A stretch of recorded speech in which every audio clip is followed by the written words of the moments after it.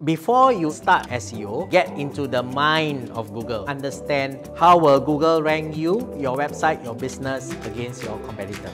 Hi everybody, my name is Eugene, the SEO King. I'm the former digital director at Standard Chartered Bank and I'm also a SEO trainer at Firstcom Academy.